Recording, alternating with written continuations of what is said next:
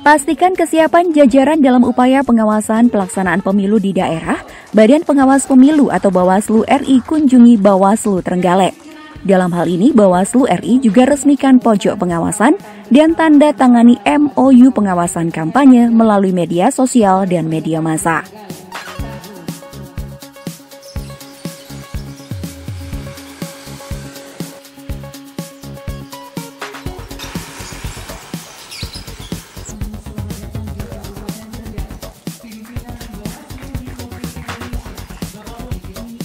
Menurut keterangan Divisi Pengawasan dan Sosialisasi Bawaslu RI, Muhammad Alfifuddin menyampaikan, dalam kunjungannya di Trenggalek ini, pihaknya ingin memastikan kesiapan Bawaslu Trenggalek baik dari kesiapan dari segi pengawasan maupun kesiapan dalam pemenuhan protokol kesehatan.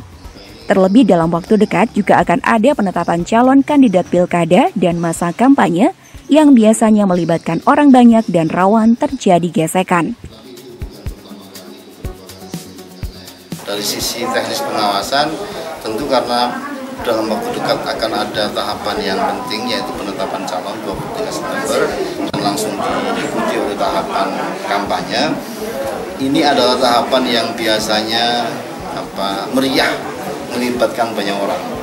Meskipun sekarang sudah diatur soal berapa orang yang boleh ikut rapat umum seterusnya, kita mengidentifikasi tahapan-tahapan kampanye ini dan pencalonan ini.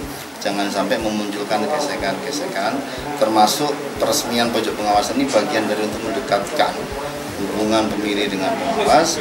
Dan tadi MOU yang dilakukan Bawaslu, kepolisian dan juga eh, KPU itu bagian dari upaya kita untuk mencegah memberitahukan ke masyarakat sudah ada kesepakatan seperti ini kalau tetap lakukan hal-hal yang dilarang dalam aturan KPU terkait kampanye, memberikan informasi bohong, politisasi sara dan seterusnya akan ditindak secara tegas dan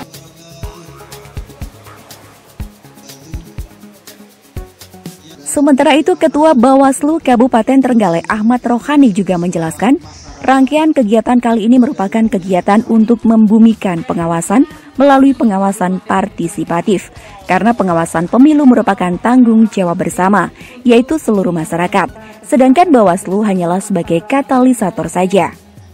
Untuk kegiatan yang sudah dilakukan pada 20 Agustus ini, antara lain Bawaslu Gostu Kampus yang dilakukan di Stit Sunan Kiri Trenggalek, launching pojok pengawasan dan penandatanganan MOU pengawasan pemilu melalui media sosial dan media massa dengan Polres Trenggalek dan KPU.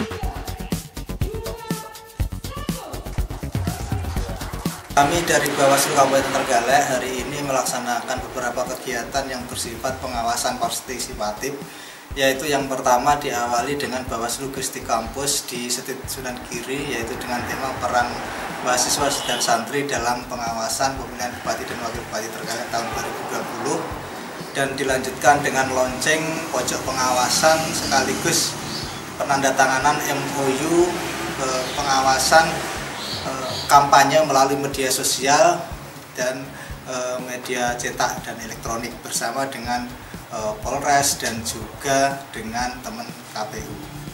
Nah, di Setit Sunan Giri tadi pesertanya mahasiswa Setit Sunan Giri yaitu terkait uh, bagaimana peran serta mahasiswa dalam rangka uh, melaksanakan pengawasan ini karena pengawasan ini sebenarnya bukan hanya tanggung jawab dari Bawaslu tetapi tanggung jawab masyarakat bersama. Bawaslu itu sebenarnya hanya sebagai katalisator bisa dibilang begitu jadi pengawasan pemilu ini adalah tanggung jawab masyarakat, tanggung jawab kita bersama untuk bagaimana e, pelaksanaan proses suksesi kepemimpinan, proses regenerasi kepemimpinan ini bisa sesuai dengan rule of the game atau regulasi yang telah ditetapkan.